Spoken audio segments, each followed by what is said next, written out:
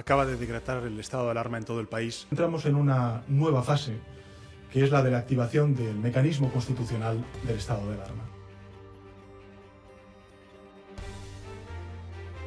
Europa y España estamos plenamente inmersos en la segunda ola de la pandemia.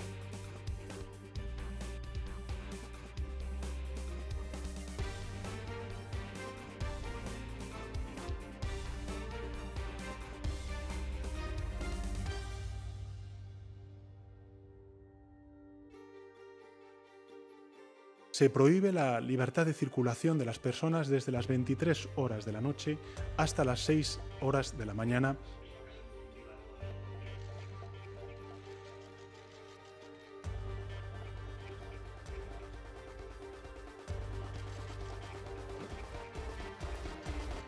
será extender el estado de alarma durante seis meses, hasta principios del mes de mayo.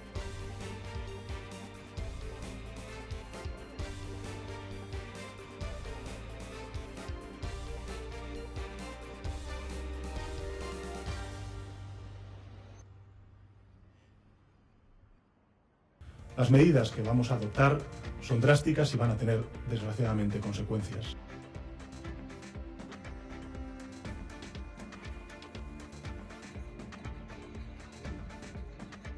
Pero cuanto más nos quedemos en casa y menos contactos tengamos, más protegidos estaremos.